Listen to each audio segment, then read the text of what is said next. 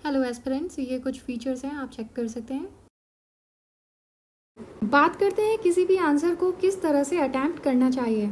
वैसे तो हर किसी का अपना अपना तरीका होता है आंसर को अप्रोच करने का, लेकिन हम यहाँ पर एक बेसिक अप्रोच को यूज़ करेंगे, जो ऑलमोस्ट सभी के लिए सुइटेबल हो और सबसे ज़्यादा इफ़ेक्टिव हो।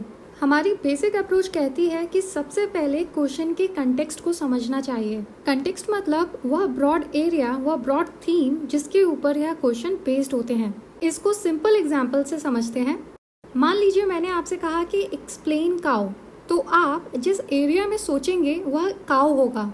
आप किसी और जानवर के बारे में नहीं सोचेंगे राइट यहाँ तक तो हमें पता चल गया कि हमें किसी दूसरे जानवर के बारे में नहीं सोचना है, लेकिन काउ के बारे में भी क्या सोचना है? अभी भी कंटेक्स्ट पूरा क्लियर नहीं है। इसलिए क्वेश्चन के पूरे कंटेक्स्ट को समझने के लिए हम उसके कीवर्ड को भी देखते हैं। क्वेश्चन के कंटेक्स्ट को पूरी तरह से समझने के लिए हम उसके डायरेक्टिव वर्ड को भी देखते हैं। डायरेक्टिव वर्ड्स वो वर्ड्स होते हैं जो उस टॉपिक के अंदर भी किस डायरेक्शन में सोचना है, उसके लिए गाइड करते हैं। जैसे कि हमने एग्ज़ाम्पल लिया था एक्सप्लेन काउ इसके अंदर जो डायरेक्टिव वर्ड है, वो है एक्सप्लेन उसके अकॉर्डिंग हम काउ के बारे में, उसके फीचर्स बता सकते हैं कि काउ के चार पैर होते हैं, एक पूंछ होती है। लेकिन वहीं अगर हमने डायरेक्टिव वर्ड क्रिटिकली एनालाइज लगा दिया तो हम सेम टॉपिक काओ के बारे में ही डिफरेंट डायरेक्शन में सोचेंगे। मतलब काओ के एडवांटेजेस या डिसएडवांटेजेस और इस तरह से आपने देखा कि एक ही थीम होने के बावजूद दो डिफरेंट डायरेक्शन से हमने सोचा। और इस तरह से आप क्वेश्चन के पूरे कंटेक्स्ट को समझ पाते हैं। एक बार कंटेक्स्ट को समझ लिया, फिर हम अपने नेक्स्ट स्टेप पर आते हैं, जो है कंटेंट को गैदर करना। क्वेश्चन की अंडरस्टैंडिंग के बाद जो भी रिलेटेड मैटर हमें मिलता है उसे हम गैदर करने की कोशिश करते हैं। कोई भी रिलेटेड एग्ज़ाम्पल डेफिनेशन स्टैट्स या फिगर्स उन्हें हम या तो अपने दिमाग में रखने की कोशिश करेंगे या फिर उनके रफ पॉइंट्स बनाकर रफ पेज पे लिख देंगे।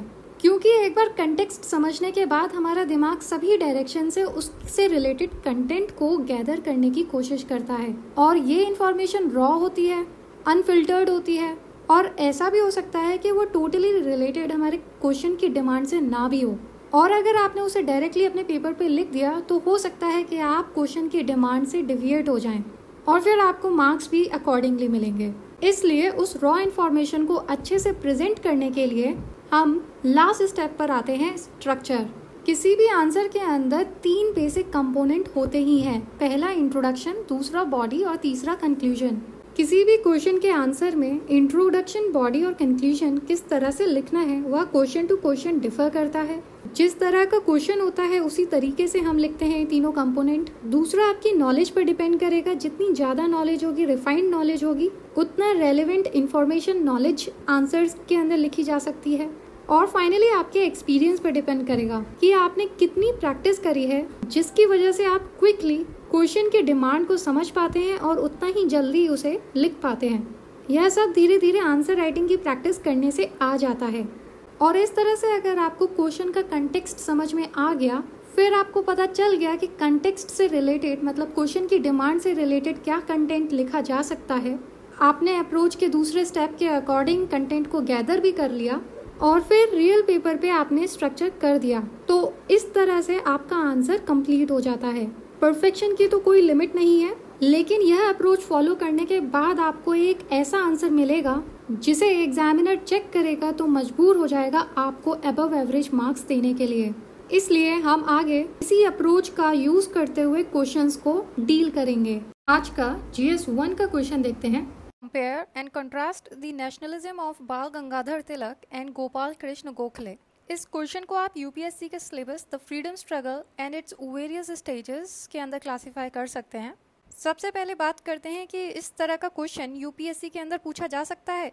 जी हाँ क्योंकि similar kind of question has been asked in 2016 main exam और उस टाइम क्वेश्चन पूछा था highlight the differences in the approach of Subhash Chandra Bose and Mahatma Gandhi in the struggle for freedom that is why we believe that this kind of question can be relevant for upcoming UPSC exam अब इस question को attempt कैसे किया जा सकता है, उसकी बात करते हैं।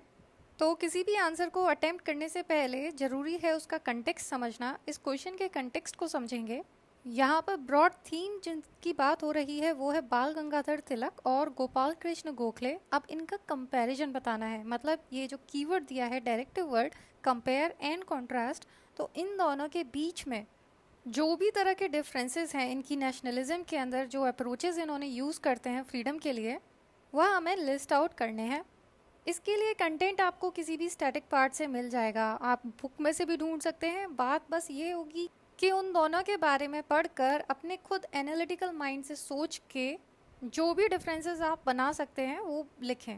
इस तरह कंटेक्स्ट को समझने के बाद और कंटेंट के मिल जाने के बाद इस स्ट्रक्चर को बनाना इजी हो जाता है। तो इंट्रोडक्शन के अंदर दोनों के बारे में ब्रीफ इंट्रोडक्शन दे सकते हैं और फिर मेन बॉडी में जो मेन डिमांड है उसे आप मेंशन कर सकते हैं। अब इसको करने के कई तरीके हो सकते हैं। आप टेबल फॉर्मेट भी बना सकते हैं डिफरेंसेस को पॉइंट वाइज लिख सकते हैं, या फिर आपका अच्छा एक्सपीरियंस है तो आप डायरेक्ट पैराग्राफ में भी लिख सकते हैं। और फिर फाइनली आप कंक्लूड कर देंगे। उन दोनों के सिग्निफिकेंट कंट्रीब्यूशन को बताकर या आप कई तरीके से कर सकते हैं। इस तरह से आपका यह आंसर कंप्लीट हो जाता है। इसे करने की कोशिश करिए। मॉडर्न इंडियन हिस्ट्री का पार्ट है ये। आप इसे इजीली अटेम्प्ट कर सकते हैं। आई होप आप सभी ने अपना आंसर लिखा होगा। तो आंसर की कुछ हिंट्स देख लेते हैं, जो आंसर के अंदर लिखी जा सकती हैं। ये हिंट्स एग्जॉस्टिव नहीं है। मतलब ऐसा बिल्कुल भी ज़रूरी नहीं है कि आपको सारी की सारी चीज़ें as it is same to same लिखना हो। तो इन हिंट्स को आप डायरेक्शन की तरह यूज़ करें, जिससे आप अंदाज़ा लगा सकें कि कौन सी चीज़ें रेलेवेंट है लिखना और कौन सी चीज़ें रेलेवेंट नहीं हैं। चलिए आगे देखते हैं। तो हमने यह क्वेश्चन डिस्कस किया था, इसके अंदर दो फ्रीडम फाइटर की बात हो रही थी और उन दोनों की अप्रोचेस को कंपेयर करना था। इंट्रोडक्शन तो आप कैसे भी इसका शुरू कर सकते हैं, इन दोनों के बारे में बताकर कर सकते हैं। काफ़ी बड़े इंडियन फ्रीडम फाइटर रहे हैं हमारे इंडियन नेशनल स्ट्रगल में। इंटरेस्टिंग बात यह है कि दोनों के स्कूल ऑफ़ थॉट्स डिफरेंट थे। जहाँ तिलक एक्सट्रीमिस्ट थे, वहीं गोखले मॉडरेट्स थे। अब आप इस क्वेश्चन के आंसर को कैसे भी स्ट्रक्चर कर सकते हैं अपने कन्वीनियंट के हिसाब से। आपकी नॉलेज अगर ज़्यादा रिफाइंड होगी तो आप इनको डायरेक्टली कंपेयर कर सकते हैं टेबल फॉर्मेट में। एक साइड एक पर्सनालिटी का नाम लिखकर उनके बारे में लिस्ट आउट कर देना उनकी अप्रोचेस और दूसरी तरफ़ दूसरी पर्सनालिटी को लिखकर उनकी बातों को, उनकी अप्रोचेस को लिस्ट आउट करना। तो देखते हैं क्वेश्चन की डिमांड के अकॉर्डिंग क्या क्या इन्फॉर्मेशन हम यहाँ पर लिख सकते हैं। तिलक के बारे में जानते हैं।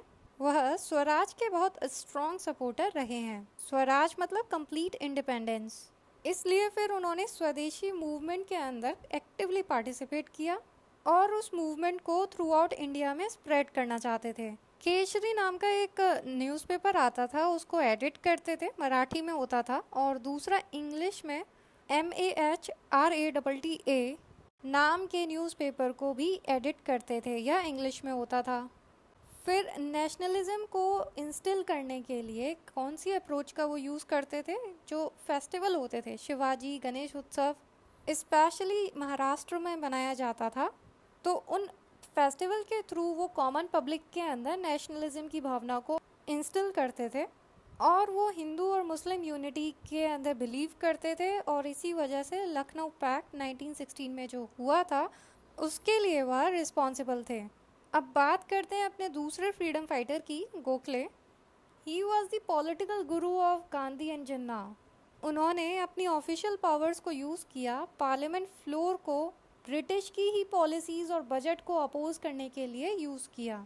उन्होंने सर्वेंट्स ऑफ़ इंडिया सोसाइटी को स्टार्ट किया जिससे कि मासेस मतलब बहुत सारे लोगों को एजुकेट किया जा सके। क्योंकि वो मॉडरेट थे, इसलिए इंडिपेंडेंस कंप्लीट इंडिपेंडेंस उनके एजेंडा में नहीं था। और फिर एजेंडा में क्या था कि जो अभी की सिचुएशन थी उस टाइम जो उनके सामने दिख रही थी, उनको इम्प्रूव करना रिफॉर्म्स लाकर और इंडियंस का जो भी गवर्नमेंट बॉडीज़ थी, उनके अंदर पार्टिसिपेशन को इंक्रीज़ करवाना। वह सोशल रिफॉर्म्स वाले एरिया में भी बहुत ज़्यादा एक्टिव रहे।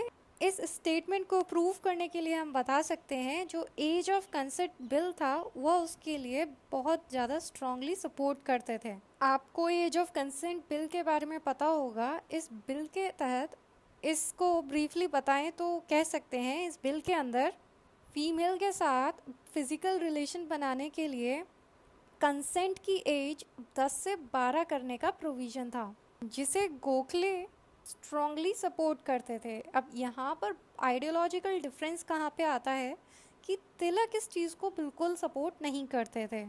बात यह नहीं है कि उन्हें इस बात से दिक्कत थी कि दस एज ही होनी चाहिए। आइडियोलॉजिकल डिफरेंस यहाँ पर था कि क्यों ब्रिटिश इंडियन ट्रेडिशन के अंदर हस्तक्षेप कर रहे हैं, क्यों इंटरफेयर कर रहे हैं। उन्हें इस तरह के लॉ लाने का कोई हक ही नहीं है। इस तरह हम देख सकते हैं दोनों के आइडियोलॉजिकल डिफरेंसेस सोशल रिफॉर्म्स के रिगार्डिंग उभर कर आ रहे हैं।